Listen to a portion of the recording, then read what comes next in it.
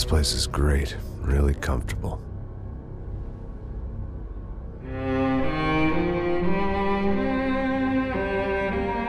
I'm just gonna get settled in. Time to move on. Get on with my life. Yes, absolutely.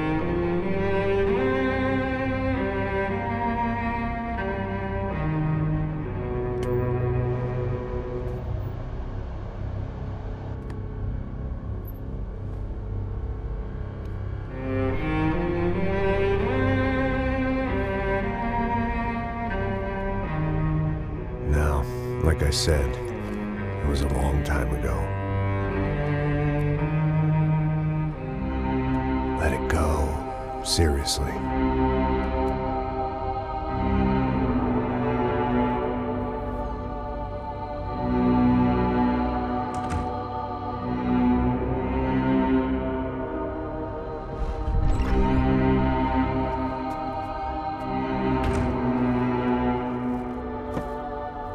Definitely more my style than Panama.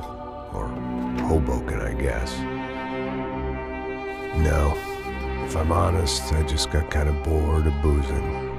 I mean, once in a while, but not all the time. You're right.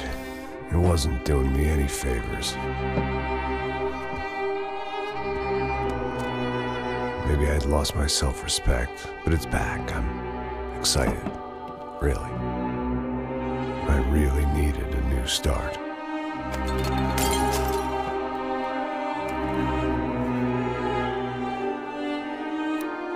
I think you're right. I think I am gonna like it here. It certainly. It certainly ain't New Jersey.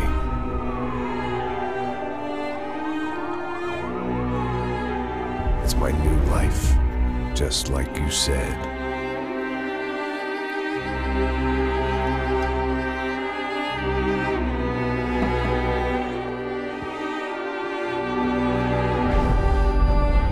Listen, if you think I can still do a job, what have I got to lose?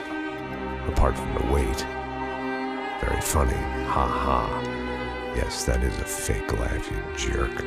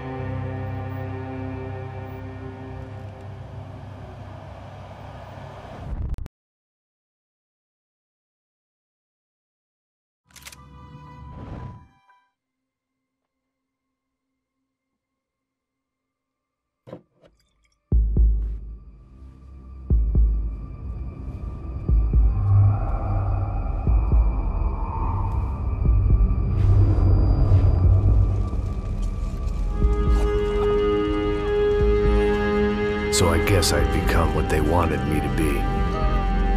A killer. Some rent-a-clown with a gun who puts holes in other bad guys. Well, that's what they had paid for, so in the end, that's what they got. Say what you want about Americans, but we understand capitalism. You buy yourself a product and you get what you pay for.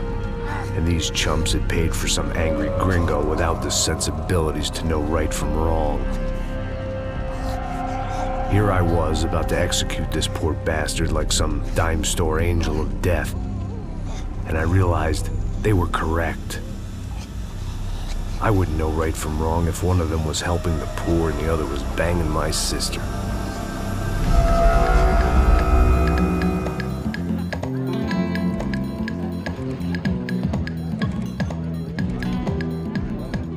I'd arrived in Sao Paulo a few weeks before. I was working a protection detail for the kind of people who need protection in a town like this. And what kind of town was this? One where I didn't speak the language and they didn't water down their drinks.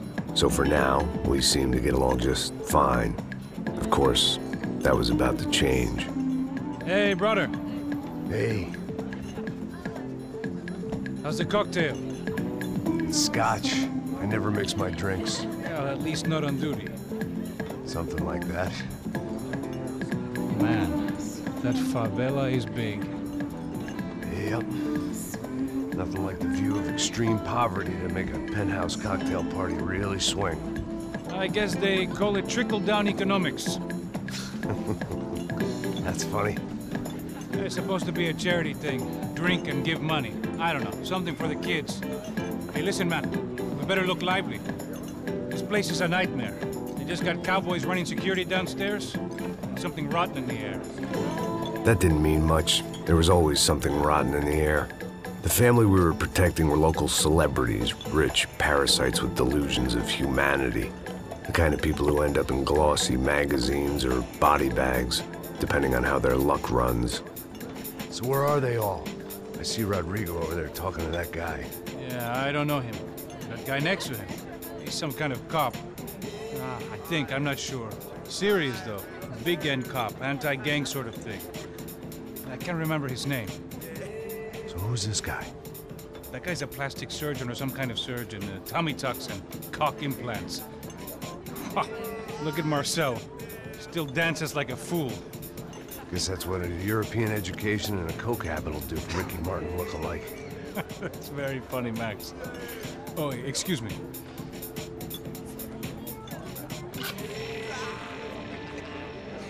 I was mostly working for Rodrigo Branco, a local businessman. Built things, did some charity, had things named after him, won awards, owned things, people.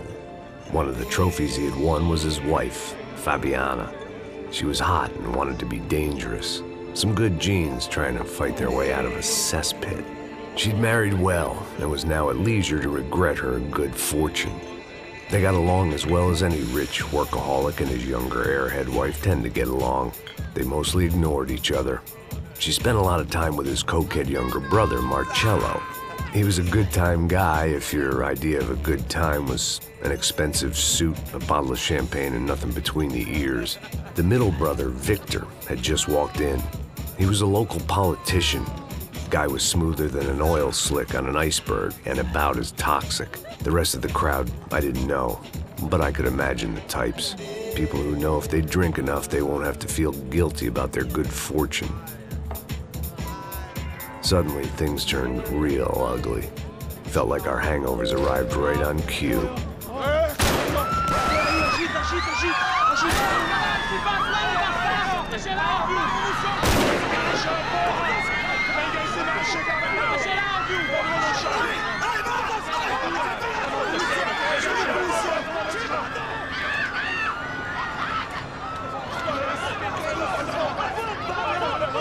Passos!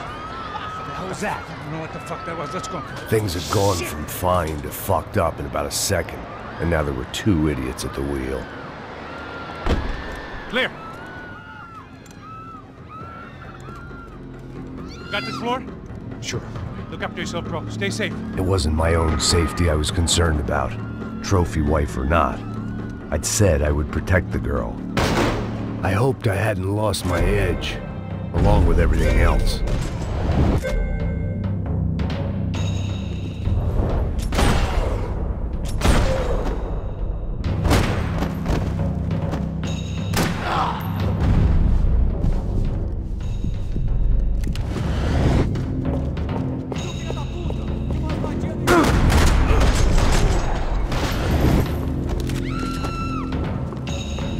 That was the boss lady. Only this time she wasn't calling for more vodka in her Cosmo.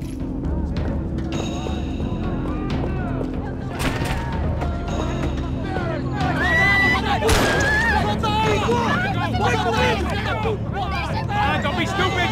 Don't be stupid! Let her go! Let her go! Come on! It might have been stupidity or drunkenness, or maybe both. But before I knew it, I was back taking insane risks, trying to save fallen women.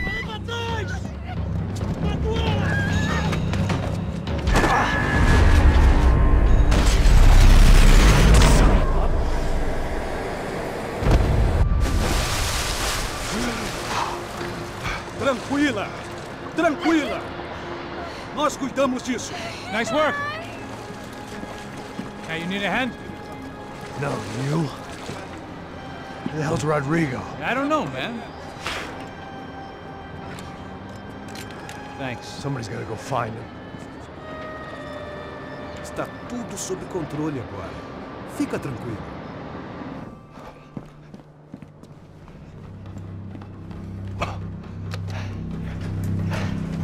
I imagine the elevator doors opening to a firing squad of muzzles. As far as I could see it, the one thing my plan had going was that no one else would be stupid enough to pull this move.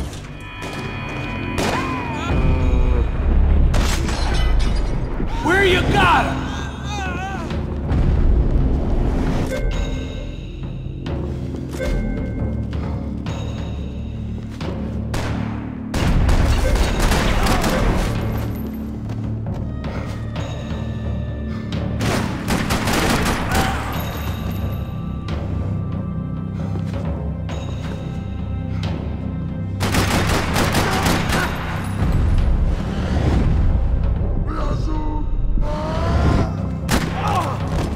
Once Branco was out the door, all bets were off.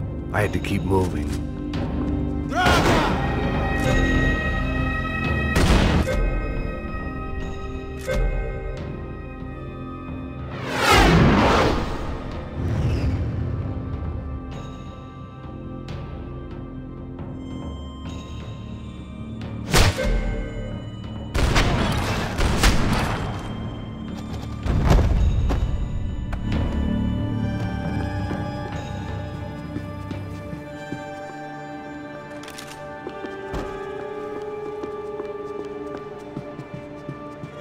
Looked like they were taking him out through the basement. Maybe I still had a shot. Rodrigo was too rich a prize for them to throw away. Sure, I'd have to work hard to get him back, but I knew the bad guys would want the boss alive almost as much as I did.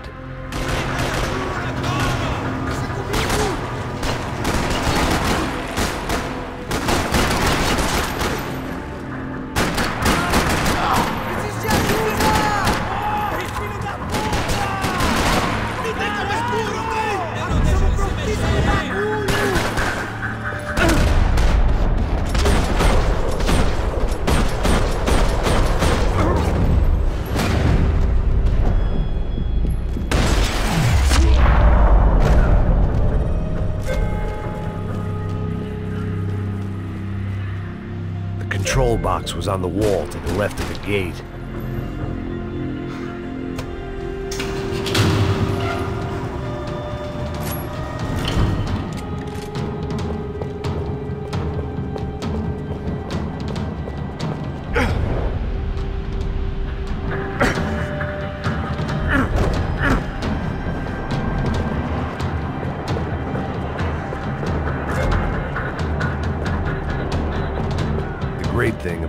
Famous as well as rich is the bad guys know who to kidnap. Another parking lot rattling with gunfire. Was I too late?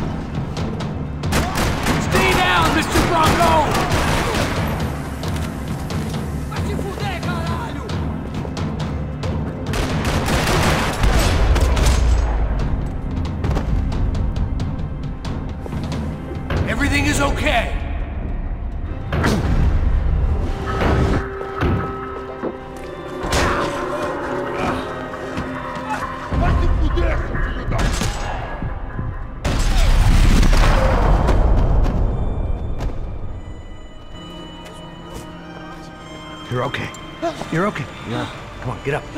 Come on, get up. You're okay. Come with me. Just come. It's okay. Stay right here. Ei, vocês aí! Que porra vocês estão fazendo? A justiça Que local? porra você acha que é, falando com meus homens assim? Você acha que tem o direito de matar as pessoas a sangue frio, Becker? Cala a boca, cuzão! Continua dando multas. Não põe o nariz onde não é chamado. Vamos! Chama uma ambulância! Fuck. You did good, Max. You say so. Don't look so good. Hey, what could be better, huh? The good guys are reunited, and the Comando Sombra are dead. I guess. So who's this guy? I don't know. Some kind of cop. Different branch of the police. Not UFE, but uh, normal cops. I don't know about this stuff, politics. Everywhere politics. Shit, Max, you look kind of beat up. Let's get this lot home, and then I'll, I'll get you home too. Come on.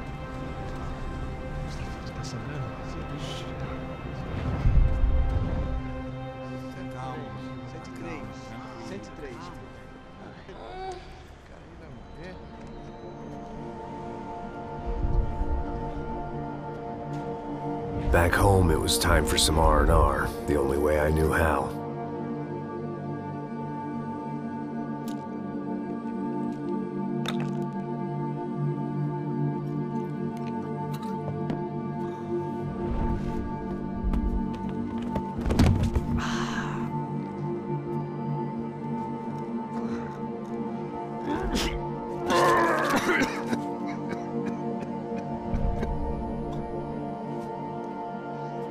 With that, I guess I was ready for bed.